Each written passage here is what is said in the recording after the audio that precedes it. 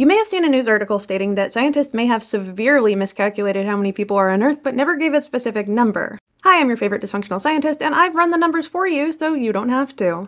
Right now, there's roughly 8 billion people on Earth. And some researchers got together and found out that there's been severe underreporting for rural populations.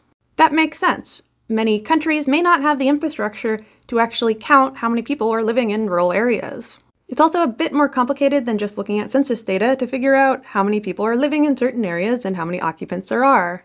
Let's think about it a little bit. Roughly 43% of human populations live in rural areas. They suggested on the low end they may have miscalculated by roughly 53%.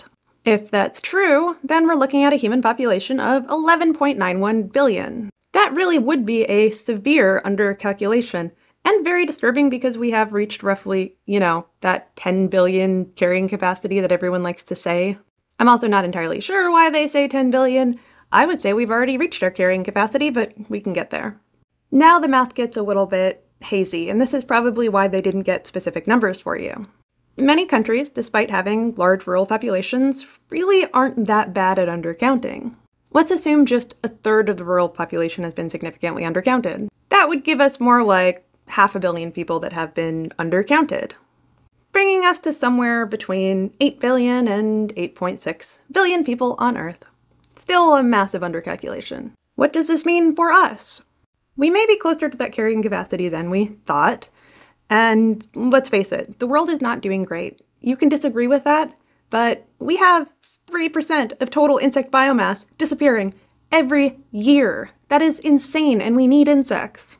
I've seen varying estimates on it, but some say that we use between 13 and 50% of all primary production on Earth. From my own field, I know that we double primary production on Earth in the form of usable nitrogen, which is insane. We have very clearly changed the landscape. We can see that from space.